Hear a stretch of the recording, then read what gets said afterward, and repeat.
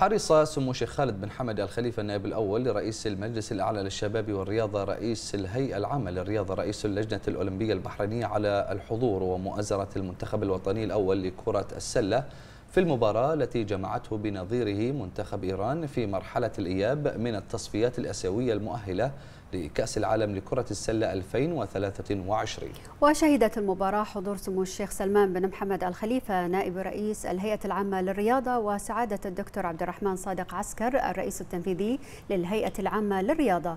وسعادة السيد محمد حسن النصف أمين عام اللجنة الأولمبية البحرينية.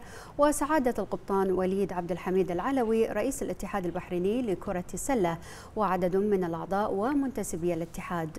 وقال سمو الشيخ خالد بن حمد الخليفة نحرص دائما على الوقوف جنبا إلى جنب مع جميع الفرق والمنتخبات الوطنية المشاركة في مختلف المحافل والبطولات من أجل رفع معنوياتهم ودفعهم نحو الظهور المشرف والمنافسة على تحقيق الأفضل من النتائج.